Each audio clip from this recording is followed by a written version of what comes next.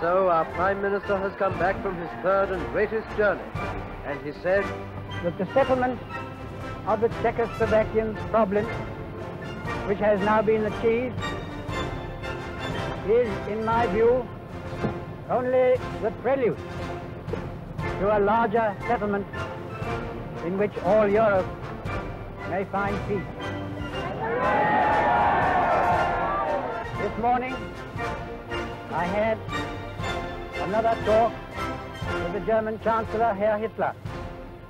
Here is the paper which bears his name upon it as well as mine.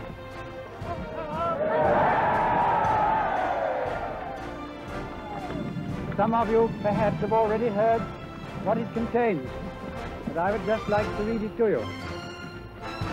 We, the German Führer and Chancellor, and the British Prime Minister have had a further meeting today and are agreed in recognizing that the question of Anglo-German relations is of the first importance for the two countries and for Europe.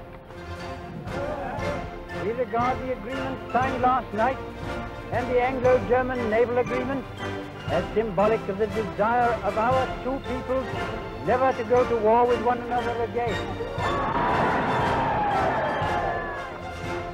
We are resolved that the method of consultation shall be the method adopted uh, to deal with any other questions that may concern our two countries, and we are determined to continue our efforts to remove possible sources of difference and thus to contribute to assure the peace of Europe.